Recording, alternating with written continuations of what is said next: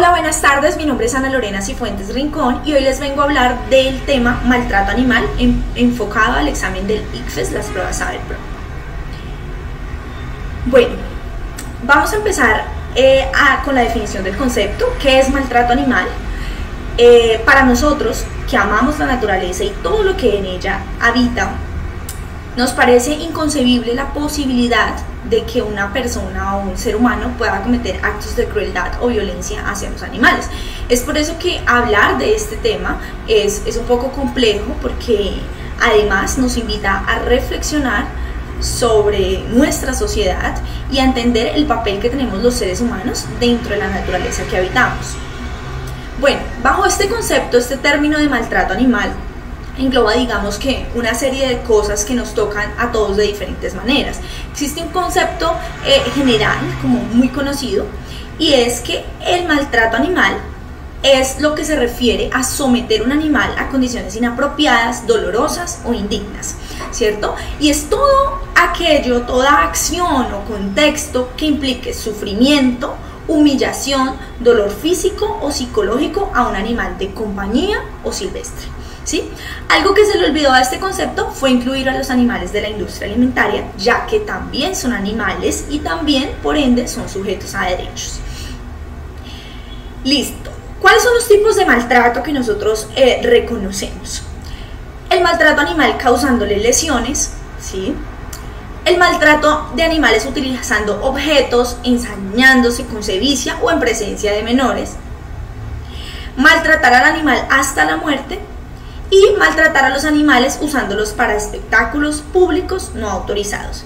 Y lógicamente algo que no se nos puede olvidar, que es el maltrato de animales por, abandonos, por abandono, que también es una forma de maltrato. ¿Cuáles son las sanciones legales aplicables al maltrato animal? En Colombia. Esas sanciones legales varían dependiendo del país, ¿cierto? Y aquí nos vamos a enfocar un poco, eh, nos vamos a enfocar más, ¿cierto? En lo que dice la legislación colombiana con respecto al maltrato animal. Básicamente, eh, eh, existen las cuatro I's de la relación hombre-animal, la relación humano-animal, ¿sí? Que es en las que se basa todas las legislaciones para aplicar sanciones, dependiendo de cuál ha sido su eh, la parte que violó para maltratar a un animal, ¿cierto? Entonces conocemos cuatro I's, que son la ignorancia, que el concepto es no saber qué hacer, ¿cierto? Maltratar a un animal por ignorancia, por inexperiencia, que es saber qué hacer, pero no cómo hacerlo, por incompetencia, que es inhabilidad o impericia para hacerlo, inconsideración, que es hacerlo con cuidado, y una quinta I que la han incluido últimamente, que es la intencionalidad, ¿cierto? Y es herir, maltratar, humillar, eh, hacer indigno, ¿cierto? A un animal intencionalmente. ¿Qué dice la legislación colombiana en términos generales? Eh, así a grandes rasgos para que se les parezca más amigable la ley y para que ustedes entiendan en, un, concepto, ¿cierto? ¿Qué es lo que está diciendo la legislación con respecto al maltrato animal aquí en Colombia? La ley 1774 del 2016, que es la que habla del maltrato animal, decreta mm, básicamente en el artículo 3 unos principios en cuanto al maltrato animal. El principio A habla de la protección al animal, que es donde dice en qué se basa, en qué se debe basar el trato que le estamos dando a los animales. Ese, ese artículo habla del valores básicos como la responsabilidad, el respeto, la compasión, la ética, el cuidado, la prevención del sufrimiento, la erradicación del cautiverio y el abandono, y así como todas las formas o cualquier forma de abuso, maltrato, violencia o trato cruel hacia cualquier animal vertebrado. En ese mismo artículo toca un tema que es el tema de bienestar animal y es que el responsable o el tenedor, el dueño, el propietario de una mascota asegurará como mínimo de una mascota o de cualquier animal, ¿cierto? Asegurará como mínimo cinco cosas básicas. Uno, que no sufra hambre ni sed que no le sean provocadas enfermedades por negligencia o descuido, que puedan manifestar su comportamiento natural, que no sean sometidos a condiciones de miedo ni de estrés y que no sufran injustificadamente malestar físico ni dolor. Básicamente eh, eh, son esas cinco ramas, ¿cierto?, que se deben garantizar para que un animal tenga bienestar. Eh, dentro de esas cinco ramas podemos hablar de cada una muchas cosas, principalmente, por ejemplo, hay una rama que dice que pueda manifestar su comportamiento natural, ¿sí? que es un, poco controvertida dentro, por ejemplo, de, del área de animales silvestres que están en cautiverio, el área de animales de producción que están en cautiverio, ¿cierto? E incluso el área de animales de compañía, que muchas veces eh, eh, los tenedores o propietarios de animales humanizan al tal, a tal punto que les pueden hacer perder su comportamiento natural, lo cual también es considerado maltrato animal. Listo. Existe dentro de esa legislación eh, una, eh, unos parágrafos, ¿cierto? Unos, unos principios de esos mismos, de ese mismo artículo, que dice que el tenedor, ¿cierto? Deberá tener la responsabilidad de tomar parte activa en la prevención y eliminación del maltrato, crueldad y violencia hacia los animales. También dice la legislación que no solamente el tenedor o el propietario, sino cualquier persona que vea, ¿cierto? Cualquier persona que esté presenciando un acto de violencia o de crueldad hacia los animales está en la obligación de denunciar y de hacer, digamos que, de alzar su voz en derecho a los animales, ¿cierto? En el principio C se dice de solidaridad social. Y es que el Estado, la sociedad y sus miembros tienen la obligación de asistir y proteger a los animales. Todas las personas tenemos obligación como ciudadanos de asistir y proteger a los animales. Eso es una regla básica que está contemplada dentro de la ley. ¿Cuáles son esos delitos de los delitos contra los animales? ¿Cierto? Delitos contra la vida, la integridad física y emocional de los animales que decreta la ley. ¿Qué dice el Código Penal? En el artículo 339A, delitos contra la vida, la integridad física y emocional de los animales, les voy a em, eh, les traje, lo, lo, cambié un poquito para que sea más, más legible, ¿cierto? Para ustedes, pero les voy a leer en contexto qué dice el Código Penal con respecto a la legislación de maltrato animal.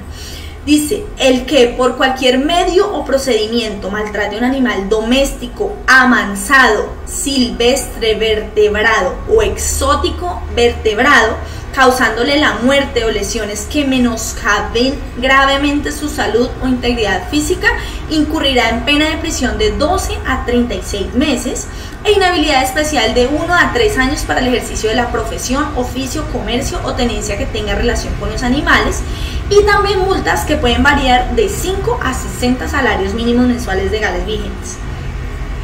Eso dice la ley. Que dentro de la ley, dentro de esos delitos de maltrato animal, hay unas circunstancias de que llamamos las circunstancias de agravación y es lo que hace el delito ser más o menos eh, en cuanto al maltrato animal.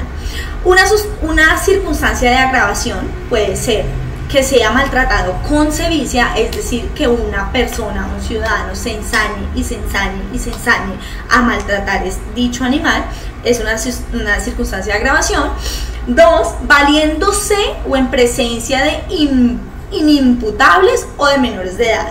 Eh, quiere decir que cuando, cuando usted utiliza menores de edad para maltratar animales o lo hace delante de ellos o en personas, digamos, que no, eh, eh, no tienen las mismas capacidades que un adulto eh, convencional, usted está manifestando una circunstancia, una, una circunstancia agravante que puede, puede asimismo agravar el delito que está cometiendo cuando se cometiere por servidor público o quien ejerza funciones públicas. Es decir, los servidores públicos tienen, además de ser un ciudadano que maltrata animal, tienen la, el agravante de ser el servidor público que por ende debe manifestar un buen ejemplo a la ciudadanía. El hecho de ser un servidor público y maltratar a un animal quiere decir que se, que se ve expuesto a una pena mucho mayor.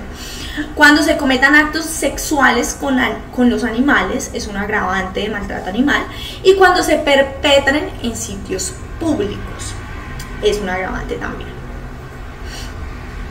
También la ley manifiesta algunas excepciones y es eh, con diferentes especies animales que ya lo vamos a ver. Las personas o instalaciones que tengan como objetivo esas, estas cosas tienen algunas excepciones dentro de la ley. Que tengan como objetivo cuidado de los animales, reproducción de los animales, cría, adiestramiento, mantenimiento, las, las plantas de beneficio y producción de alimentos, actividades de entrenamiento para competencias legalmente aceptadas, porque no todas las competencias son legalmente aceptadas en Colombia, y quienes adelanten acciones de salubridad pública tendientes a controlar brotes epidémicos o transmisión de enfermedades zoonóticas. ¿Qué es esto? Básicamente, eh, eh, los, las, las personas que están capacitadas, médicos veterinarios, personas del área pública, que eh, eh, no, no, es decir, no maltratan animales, sino es decir, tengan que erradicar ciertos animales para proteger los bienes, para proteger la salud pública, como enfermedades zoonóticas, enfermedades transmitidas de animales a seres humanos.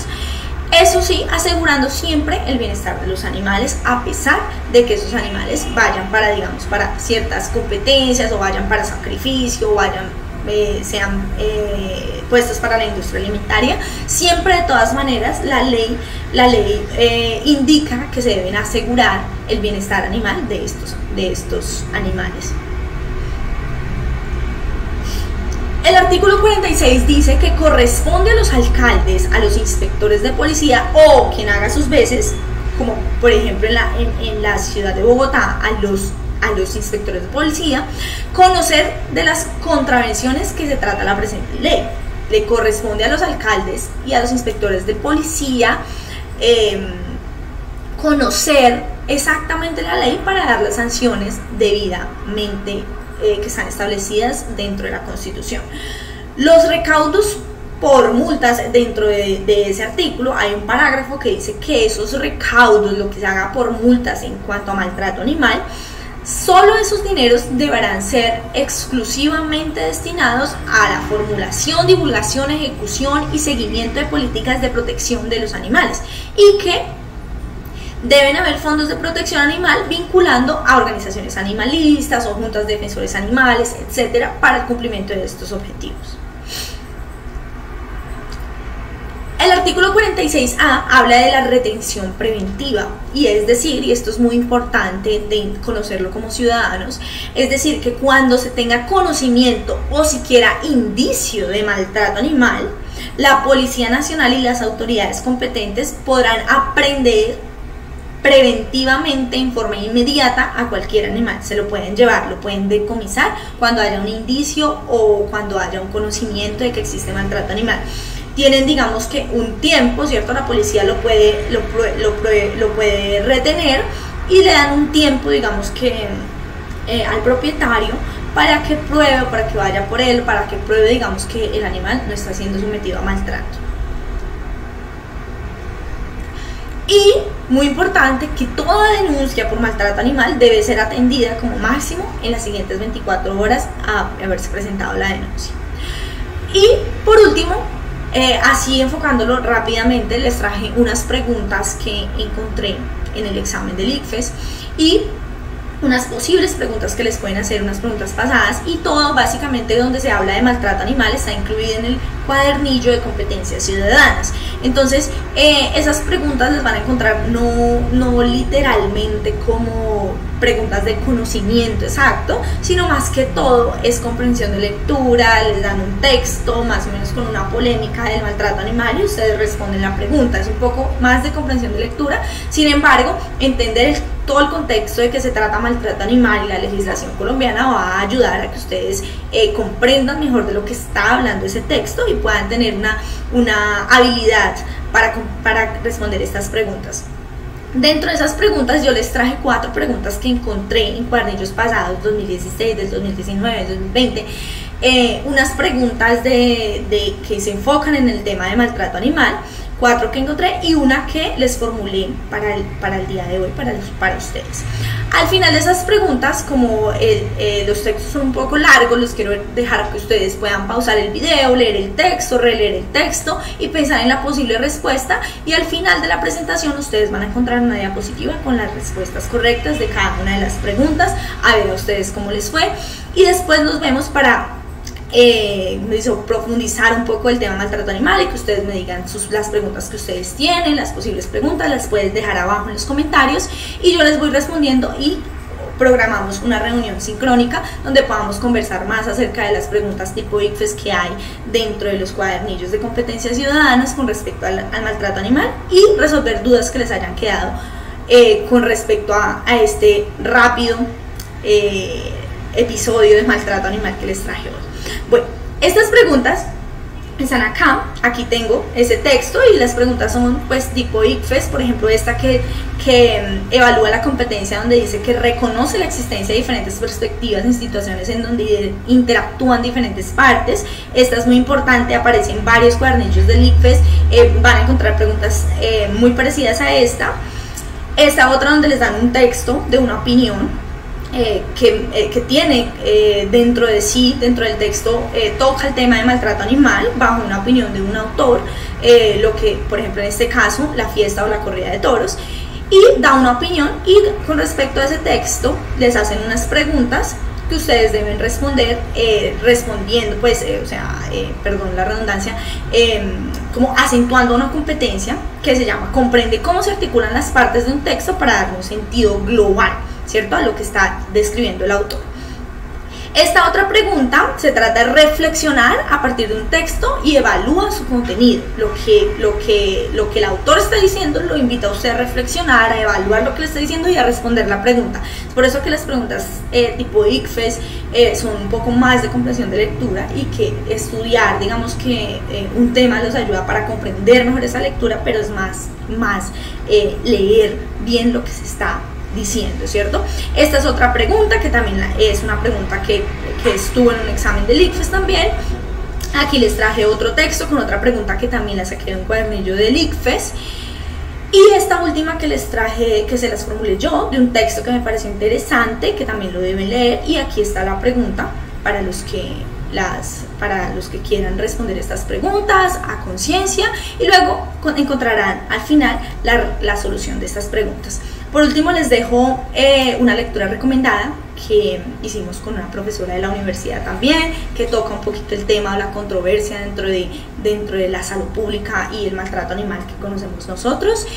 Y aquí están las respuestas de las preguntas para que ustedes eh, las evalúen, a ver cómo les fue y resolvamos las dudas dentro de los comentarios y programemos una, un encuentro sincrónico próximamente.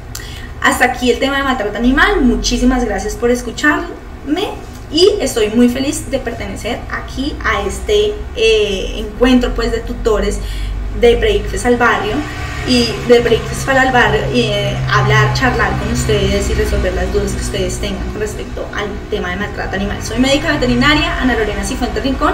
Me pueden encontrar en LinkedIn o también me pueden escribir al correo electrónico cualquier duda que ustedes necesiten. Muchas gracias.